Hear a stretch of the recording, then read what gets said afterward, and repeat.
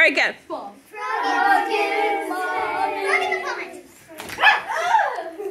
he tricked you first time. Good job.